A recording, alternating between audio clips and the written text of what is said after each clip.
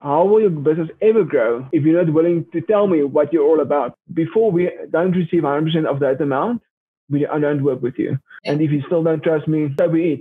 Make sure you cover yourself. There's no reason for not looking after your risk. And people, some people find it very harsh, and I don't care.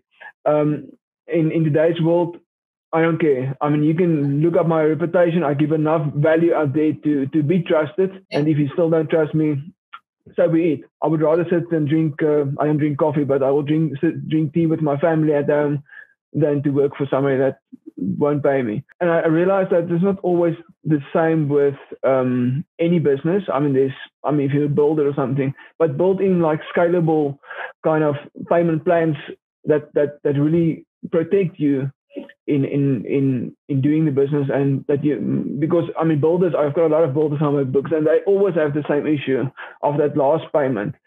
Uh, during that last payment that that becomes an issue you just need to make sure that you put in a layer of of protection for yourself. Um, to give you examples, um, stucco flooring. So it's got this decorated flooring. So we've in one of our properties we done that uh, a few years ago.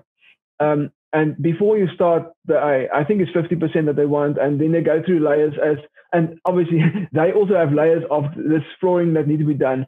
And before they come for that last day, that little glance, that last sealer that's on it. Ah, they, they, they want their money, and otherwise they don't come. If they don't come, you've got a problem.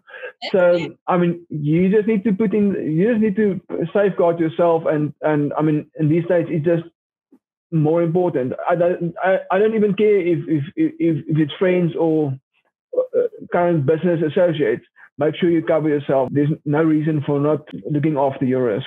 I just wanted to remind you about the Daily Entrepreneur Tips series. It's a business growth series for entrepreneurs and contains financial information and also information to grow you as a person and your business because we will never grow our business any higher than we grow ourselves.